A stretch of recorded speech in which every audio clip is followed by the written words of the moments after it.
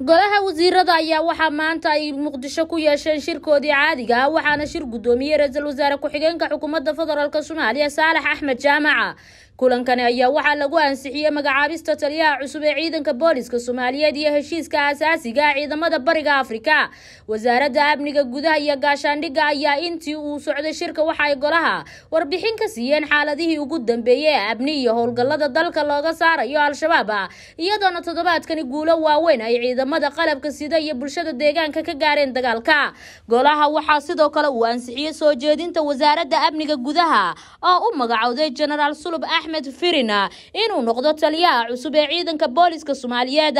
Dhinaca kale sidoo kale golaha ayaa ansixiyey heshiiska aasaasida ciidamada heeganka ee bariga afrika oo ay ku jiraan sagaal wadan oo kale ah soomaaliya burundi jabuuti etoobiya kenya ruwanda sygelis suudaan iyo uganda. Shirka golaha wasiirada ee xukuumadda federaalk ee soomaaliya oo maanta uu shir guddoomiyey ra'iisul wasaare ku-xigeenka mudane saalax jaamac ayaa waxaa lagu ansixiyey laba arrimood oo muhiimad gaara leh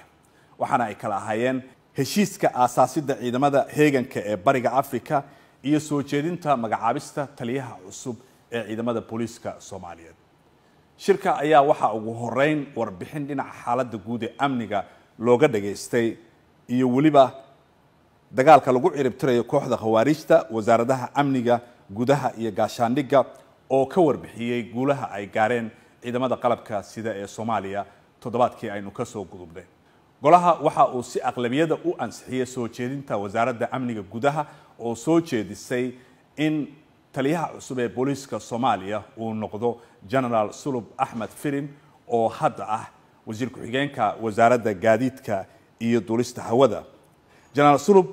waa mas'uul xilal kala duwan ka soo qabtay ciidamada booliiska soomaaliyeed waxaana uu tababaro kala duwan ku soo qaatay wadanka gudihiisa iyo dibaddiisa isagoo dhinaca aqoontana wax ku bartay wadanka gudihiisa iyo dibaddiisa waxaana jaamicadda makrere ee wadanka uganda uu ka haystaa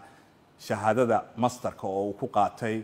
maadada nabadda iyo xalinta khilaafaadka. Dhinaca kale golaha wasiirada waxa uu ansixiyey heshiiska aasaasidda ciidamada heeganka ee bariga africa oo ay ku midaysan yihiin sagaal wadan oo soomaaliya ay ku jirto kuwaasi oo kale ah dalalka burundi jabuuti etoobiya kenya ruwanda seychelles sudan iyo uganda heshiiskan ayaa ujeedadiisu waxa ay tahay sidii loo hirgelin lahaa ilaalinta